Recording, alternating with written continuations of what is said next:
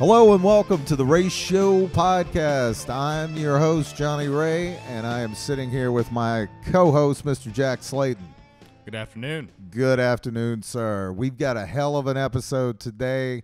We have Mr. Zachary Ezrin from the mighty Imperial Triumphant.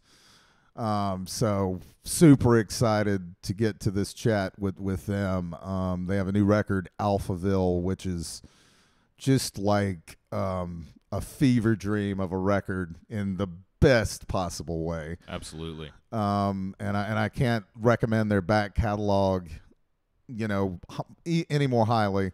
Um, but one thing we want to talk about with them, they just completed a uh, live stream event.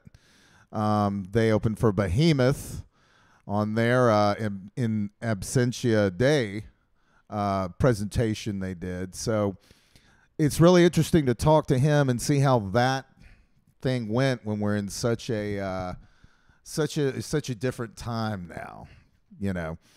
Um, but I know there's been a lot of uh, live music events talked about, streaming events here in town. You know, what are your thoughts on this? Well, it's definitely uh, it's a shift now. I think live music is going to be very different for a while, as it should be. You know, uh, we all want everybody out there to be safe and and uh, take care of themselves. But I think some more uh, interesting things could come about this in a different way. Uh, we've got locally uh, a friend of ours, Count Zapula, Count Zap. is uh, doing some live stream projects out of Little Kings and Flicker Bar here in Athens, Georgia. Um, allowing, giving a venue for uh, local bands to to show what they've been working on and also express their own musical tastes. Those are very exciting things, and we'll keep you all updated on the uh, on that as it as we get more information. Absolutely. Um, and and you know this this is just one more way that you can help bands during this time.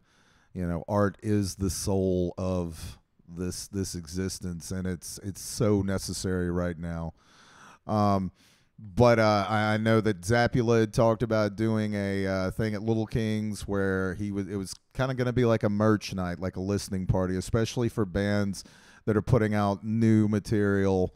You know, just anything to keep this local you know, um, well, we got to keep the scene alive, and you know, there I there will there will come a day where we'll all be there at a venue seeing a badass rock and roll show. And having a good Absolutely. time. But un- until then, we got to do what we can to just remember and keep it alive. Right. Because, as you've always said, art saves, and you know, we we really need this. Yes. I think a lot of people need to continue to be able to hear some form of live music and just listen to music. I know there's a lot of people out there right now that you know you might not really know what to do with yourself at times. oh yeah, um, and uh, you're kind of stuck at home, or, or you're you're worried about everything that's going on in in, in, in the world and in, in our own country right now. Um, listen to music. Listen to I, I started listening to stuff recently that I hadn't listened to in uh, ten years. yeah, yeah. Getting back into some some stuff that really started my journey into the kind of music that I like right, you know and what i mean you got nothing but time go for it right, right. Well, well, that that's funny you mentioned that. Getting to our our guest tonight, um, uh, Zach from um, Imperial Triumphant. I cannot name a band that I've listened to more throughout this pandemic than them. And it's been the perfect, you know, elixir for these times. It, it you know, it's it's they're really pushing black metal further. And that's those are the bands I've always respected in that genre, the ones that, that really want to take it further. And there is moments of just complete chaos, madness, and then there's moments of great beauty with this. Um, and I would recommend, like he does, starting at the beginning of their catalog and going all the way through because it's such a journey and and it really solidifies that whole New York City theme in there and and and um but enough of my yapping let's get to our talk with Mr. Zachary Ezrin from Imperial Triumphant. All right, we are fortunate enough to be talking to Mr. Zach Ezrin from the mighty Imperial Triumphant. Um, they have been promoting their excellent new album, Alphaville. Uh, how you doing today, Zach? I'm doing quite well, man. Thanks for having me. Yeah, yeah. Thanks so much for doing this. Um, before we jump into the record, uh, you guys just completed a very unique live experience opening for Behemoth during their in, uh, in absentia day event. Uh, what are your thoughts on this experience and, and how'd it go? Honestly, it was uh, it was very intense and very stressful, just because we had never done anything like this before, and we were really unsure about how it was going to go because you know at the end of the day we really wanted to deliver a top quality product and something that was maybe not even trying to replace a live an actual live performance like that you would see in person but just give another uh, perspective of seeing the band right and i think we actually it, it i think it worked out really great because it pushed us really hard to think really creatively and, and think um, in ways that we've never thought before. And it, it, I'm really happy with the product, and we're very grateful for Behemoth to inviting us. Right, right, and you know, you just said it there. I guess the parameters just push push that creativity with everyone having to kind of raise their game now to even be noticed. How do you see? Do you see other bands taking this route and and and expanding upon? that? Maybe even doing I mean, full some tours. will and some won't. You know. Yeah. Um, it's just about you know who wants to put in the effort. Right, right. Um, well, let's jump right into Alphaville. Um, and and you know, I take some of the, some of the like, especially on your earlier records, this the shit is just frightening, for lack of a better word, you know, and this leads in. It's you can see such a progression through your music, um, and I know that it's been mentioned. You know, New York City, your your your hometown, is a huge influence on all of this music. Um, and I guess my question is, I feel that like you guys show the day to day.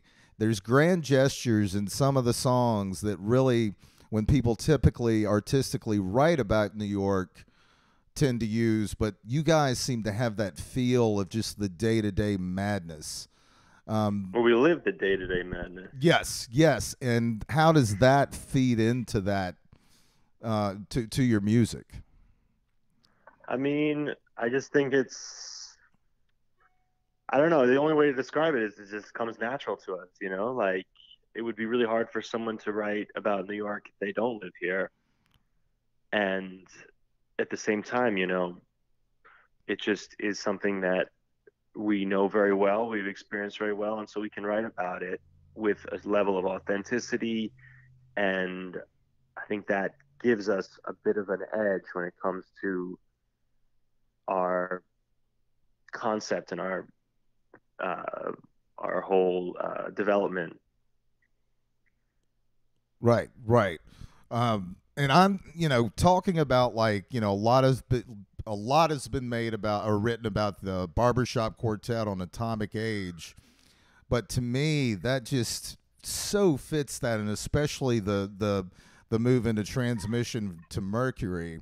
It's like you have all there's there's moments of beauty to offset the just madness that seems and that's kind be. of how New York feels to us is like madness, you know, maybe 90% of your day. And then there's just brief moments of, of, yeah, beauty and, and, and elegance and fine luxury. And, and those moments kind of, you know, we wanted to capture those, those moments for sure. Yeah, it definitely soars those highs. It has that feeling. Um, what do you see? Sorry, I had a, uh, uh, technical issue there for a second. No worries. Um, now, now taking that with the live presentation, um, how did that evolve? Uh, again, very organically. Just try, basically the the main goal behind the visuals and the stage production and everything that we do when you see us live is to represent the music visually. So everything that we've done, every step we've taken has been with that thought in mind. And we're still developing, you know, our ideas and building a uh, better production however we can with as you know as much creativity as we can. And it's definitely a really uh, exciting avenue to go down because for me at least it's not just a band where we make music but it's a, an entire brand and a concept that i enjoy the creative aspects of when it comes to everything yeah. Whether it's the stage production the merch design the record covers the poster covers the uh, you know what are our guitars going to look like? Like everything about that is a is a labor of love and a creative pleasure of mine. So it's something that i think about.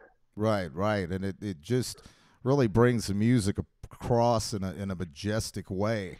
How hard well, the main concept is that it allows the viewer and the listener to absorb the music in another with another sense other than hearing but they can see the music and they can absorb it best this way, and it kind of draws people in who might not be so. Uh,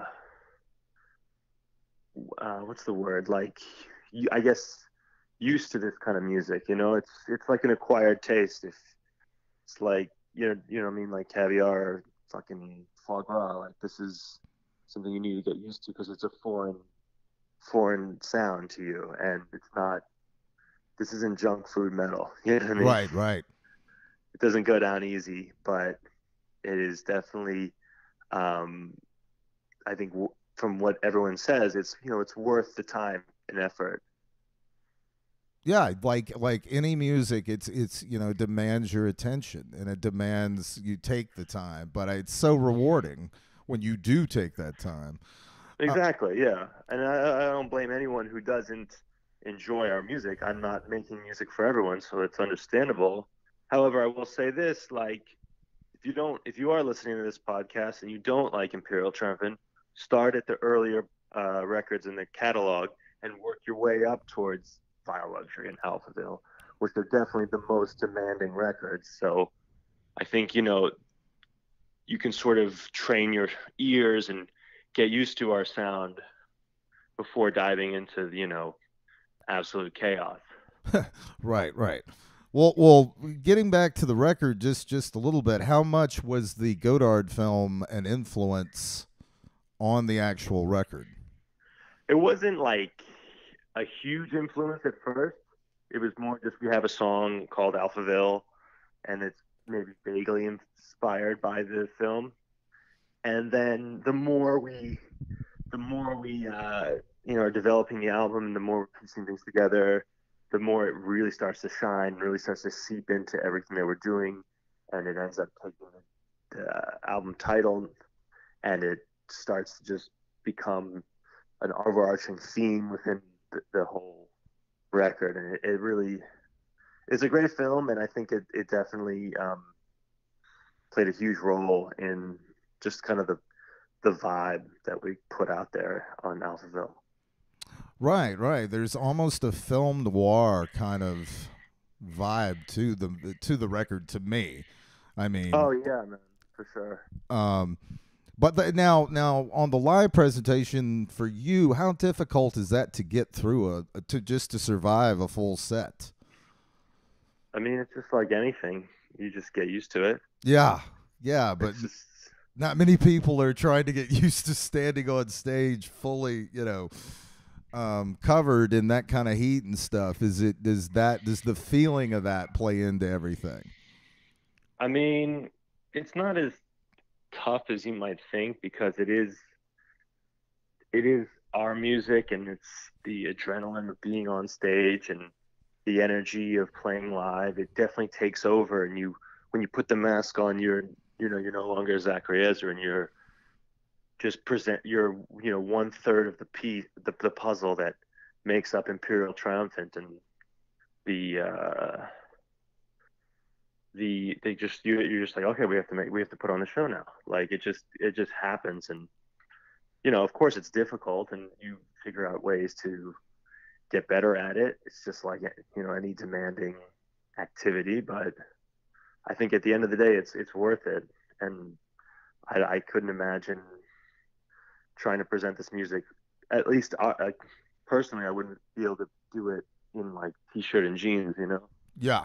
Oh God, no. Um, now, now your personal musical journey. How did you get into this music? How did you? Uh, what were your beginnings as far? What led you to black metal and, and avant-garde type music?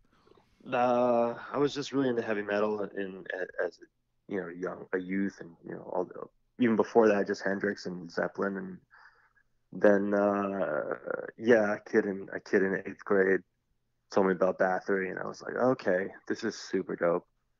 Uh, and then just kind of getting really into like second wave black metal bands because I love the, I just love the evil atmosphere. You know, I was listening to death metal as well, but death metal was more about it seemed brutality and technicality, which I appreciated, but at the same time, it wasn't like made with the intent of sounding just dark. And that's something that I really appreciated and loved. And then by the time I got to college, they started. I went to a uh, music conservatory, so like they just pushed a lot of 20th century classical music into my he- head, and I started to love that because that's, I think, you know, the the black metal of of uh, classical music, if, if not even, you know, beyond. It's so so much darker and so much crazier than anything that you know comes from Norway oh, yeah. in the 90s so like that honestly this is I'd say the you know the jazz shit and the black, uh, black metal shit aside 20th century classical music has had a tremendous uh, influence on my compositional style my guitar playing style and the imperial triumphant sound oh yeah yeah it's that's that's you can hear that all over it. Um, and is this something that uh, that you said you went to a musical? So how how intensive was that? You were just constantly. Uh, were you able to work on your side music on your own? Well, it was. Um, I went to uh, Cal Arts in California, which is, and I was a I wasn't a guitar major though. I was a, a composition major, so it was it was much more creatively uh, pushed than it was like go home and practice, you know, this, this, this, and this. Like my guitar was just my tool for composition. It wasn't my focus of study. So it was all just creativity all the time. Just, you know, write, write a string quartet, write, write a winds quintet, you know, stuff like that. And just getting familiar with orchestration and the I don't know the role of every instrument. I think that's something that plays a, a big part in Imperial Triumphant is that the bass isn't trying to play like the guitar, and the guitar I don't tune my guitar down because I'm not trying to sound like a bass. Right. Like I, I stay in my lane and do the guitar parts, and then everyone goes, "Oh wow, you can hear the bass so clearly." It's like no shit. well, uh, one thing on the record, I mean, taking your musical background, you you were fortunate enough to have Trey Spruance from uh, Mr. Bungle uh, produce the record. I mean, that just seems like a logical fit. What did he bring to these songs, and and how was that working relationship? That was an unbelievable uh, fit, and you know, we obviously had never worked with a producer before, so we were very not nervous, but just more like curious as to how it would work out. And, but you know, it, him being Trey Spruance, it was just like, obviously, I think he's going to do a good job. And he came in uh, perfectly. Just the energy between him and us and Colin Marston, our engineer, oh, yeah. everyone like just got along really well. He a hundred percent understands what kind of music we're trying to make, what kind of vibe we're trying to give out. So there was no, what about this? And then we would go, go, oh, this is a terrible idea. Like every idea that he brought forth was perfect and only served to make the album better. There's no egos in this band, and there was no not in the studio. So it was really just everyone working, you know, towards the greater good of making the best album we can. Right, right, and having Colin there too. God, that must have been amazing as well. So, Well, yeah, Colin's a genius.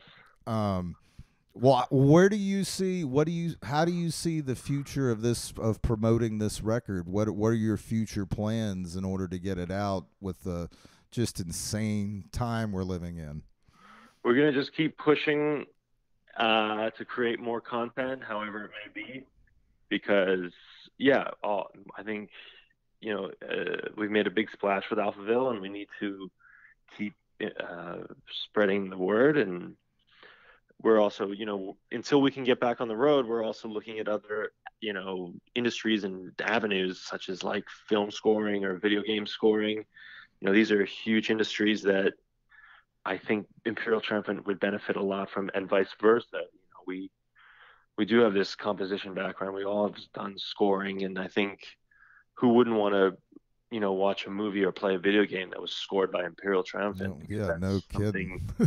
it's something that's not just going to be like, oh, we threw a heavy metal band on there. It's something a lot darker and a lot more atmospheric, I think.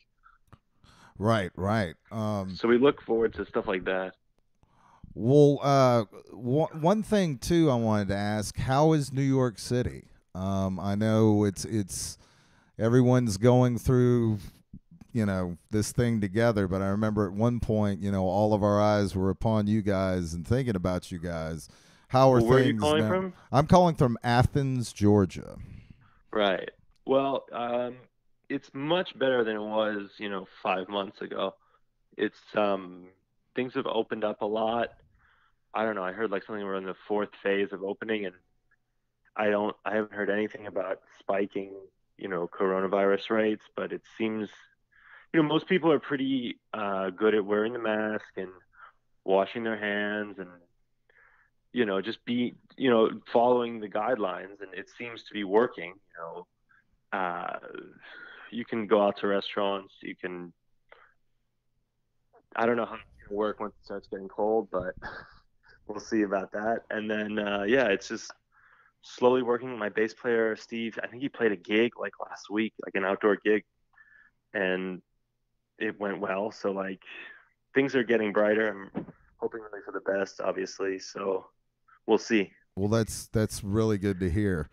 Well, um, I want to thank you so much for doing this. But before we go, what would be the best place uh, your uh, listeners, our listeners, could get in touch with you guys? What's the best hub for uh, Imperial Triumphant?